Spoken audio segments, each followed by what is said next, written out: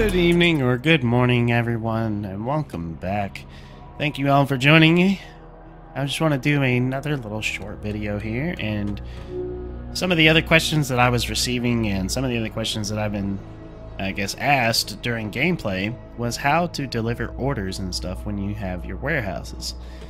So, I wanted to just do a little small brief video about that. So if you come over here to our little, it's our inventory management page area, I guess, or logistics area. This is where you do vehicle loadout and all that good stuff. You can check your currency report here. This is how it shows you uh, where you make all your money, all that good stuff. As you can see, I made like, or I lost 2,300 because I built a barge and some munitions. But if you come over here to this map tab, you will see all the islands that you currently have under your control. This is your location of your carrier. The green uh, locations are your barges, all that good stuff.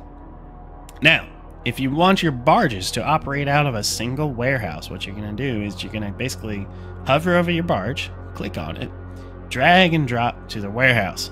Now, what that's going to do is it's going to assign that barge over to the warehouse. From there, the warehouse, if you want your stuff delivered to your aircraft carrier, you have to drag and drop from your warehouse to your aircraft carrier. Everything else, you're just going to drag and drop to that warehouse. What that's doing is basically assigning all of your islands to send their inventory to that specific warehouse. You can also set it so that if you wanted to, you could have this munitions plant to deliver directly to the carrier. But if you want to do that, you're going to have to have one of these barges to basically say, hey, I want to go to this small munitions plant and then go directly to the carrier instead of going to the warehouse. So that's kind of how you do that.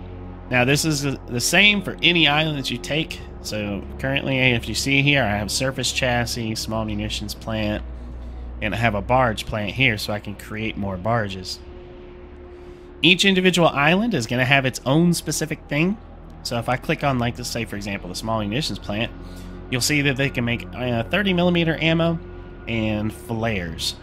Now, later on, you have to unlock more small munitions plants by taking them over, and you can get one to two blueprints depending on the shield level of the island. And by that, I mean if you come over here to the vehicle control page, let's just say I want to look at uh, this island directly northeast of us. You see how there's two shields? Or if you come over here, you see these are four shields. Now these shields are showing the difficulty of how hard it is to take the island. In my personal experience, usually one star or one shield islands are very easy. They usually have minimal ground forces, usually around six to nine ground forces that you have to take out. Two shield islands are usually either a few ground forces with a boat, like a destroyer or a corvette or something like that, and they could also possibly have an airfield. So if we zoom in here, uh, we can't see it because we're not close to it, but uh, some of them will have airfields. Now, three three shields usually are going to have a larger combination, so they might have an airfield, some destroyers, and some ground forces.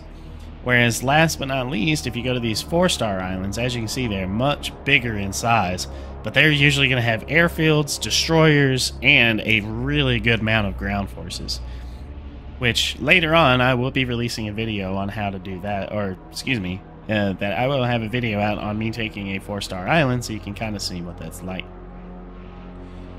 But that is just a brief overview on uh, how to do your and like I guess order logistics. If you enjoyed this video, please like and subscribe so that way you can stay tuned for more future content on Carrier Command 2 and other games that I play in the future. I want to thank you all for watching. I hope you guys have a wonderful rest of your day. And see you next time. Bye-bye.